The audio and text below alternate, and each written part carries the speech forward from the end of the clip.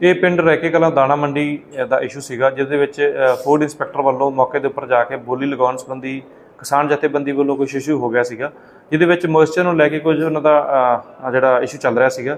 ਸੋ ਕਿਸਾਨ ਜਥੇਬੰਦੀ ਵੱਲੋਂ ਜਿਹੜਾ ਫੂਡ ਇੰਸਪੈਕਟਰ ਸੀਗਾ, ਉਹਨੂੰ ਮੌਕੇ ਦੇ ਉੱਪਰ ਬੰਦੀ ਬਣਾ ਲਿਆ ਸੀਗਾ।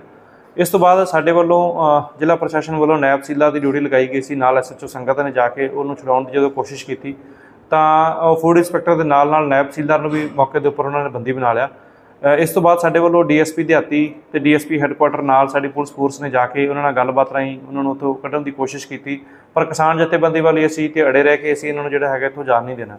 ਇਸ ਤੋਂ ਬਾਅਦ ਸਾਡੇ ਵੱਲੋਂ ਐਸਡੀਐਮ ਬਠਿੰਡਾ ਦੇ ਨਾਲ ਸਾਡੀ ਪੁਲਿਸ ਪਾਰਟੀ ਨੇ ਜਾ ਕੇ ਮੌਕੇ ਦੇ ਉੱਪਰ ਜਦੋਂ ਉਹਨਾਂ ਨੂੰ ਉੱਥੋਂ ਜਾਣ ਦੀ ਕੋਸ਼ਿਸ਼ ਕੀਤੀ ਤਾਂ ਜਿਹੜੇ ਉੱਥੇ ਕਿਸਾਨ ਜਥੇਬੰਦੀਆਂ ਦੇ ਆਗੂ ਸੀਗੇ ਉਹਨਾਂ ਨੇ ਪੁਲਿਸ ਪਾਰਟੀ ਦੇ ਉੱਪਰ ਹਮਲਾ ਕਰ ਦਿੱਤਾ, ਜਿਸ ਨੂੰ ਬਚਾਅ ਦੇ ਵਿੱਚ ਸਾਡੇ ਵੱਲੋਂ ਵੀ ਜਿਹੜਾ ਹੈਗਾ ਮਾਈਲ ਜਿਹੜਾ ਫੋਰਸ ਯੂਜ਼ ਕੀਤੀ ਗਈ ਹੈ ਤੇ ਜਿਹੜਾ ਉੱਥੇ ਅਧਿਕਾਰੀ ਸੀਗੇ, ਉਹਨਾਂ ਨੂੰ ਮੌਕੇ ਤੋਂ ਸੁਰੱਖਿਅਤ ਜਿਹੜਾ ਸੀਗਾ ਸਾਡੇ ਵੱਲੋਂ ਕੱਢਿਆ ਗਿਆ।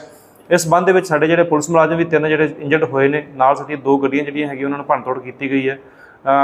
ਜਿਹੜੇ ਇੰਜਰਡ ਮੁਲਾਜ਼ਮ ਸੀਗੇ ਉਹਦੇ ਬਿਆਨ ਦਰਜ ਕਰਕੇ ਸਾਡੇ ਵੱਲੋਂ ਐਫ ਆਈ ਆਰ ਨੰਬਰ 57 ਥਾਣਾ ਆਨੰਦਗੜ੍ਹ ਦੇ ਵਿੱਚ ਦਰਜ ਰਜਿਸਟਰ ਕੀਤੀ ਗਈ, ਜਿਸ ਦੇ ਵਿੱਚ 10 ਬੰਦੇ ਬਾਈ ਨੇਮ ਤੇ ਬਾਕੀ ਜਿਹੜੇ ਅਣਪਛਾਤੇ ਦਰਜ ਰਜਿਸਟਰ ਕੀਤੇ ਗਏ ਆ।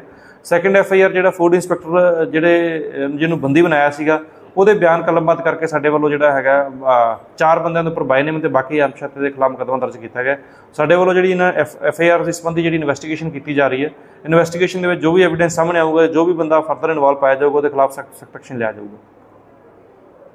ਤੁਸੀਂ ਵੀ ਕਿਡਜ਼ ਦੀ ਤਲਵੰਡੀ ਸਾਬੋ ਦੇ ਨਾਲ ਜੁੜ ਕੇ ਕਰ ਸਕਦੇ ਹੋ ਆਪਣੇ ਬੱਚਿਆਂ ਦਾ ਐਜੂਕੇਸ਼ਨਲ ਬੇਸ ਸਟਰੋਂਗ ਬਚਪਨ ਹੀ ਹੁੰਦੀ ਹੈ ਕਿਸੇ ਵੀ ਚੀਜ਼ ਨੂੰ ਸਿੱਖਣ ਤੇ ਸਮਝਣ ਦੀ ਸਹੀ ਉਮਰ।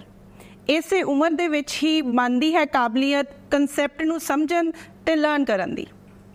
ਜ਼ੀ ਲਰਨ ਦੇ ਨਾਲ ਜੁੜ ਕੇ ਤੁਸੀਂ ਆਪਣੇ ਬੱਚਿਆਂ ਦਾ ਐਜੂਕੇਸ਼ਨਲ ਜਰਨੀ ਨੂੰ ਕਰੋ ਸ਼ੁਰੂ, ਤਾਂ ਕਿ ਤੁਹਾਡਾ ਬੱਚਾ ਇੱਥੇ ਕਰ ਸਕੇ ਜੀ ਲਾ ਕੇ ਪੜ੍ਹਾਈ। ਵਧੇਰੇ ਜਾਣਕਾਰੀ ਲੈਣ ਦੇ ਲਈ ਦਿੱਤੇ ਗਏ ਨੰਬਰਾਂ ਦੇ ਉੱਪਰ ਕੰਟੈਕਟ ਕਰੋ।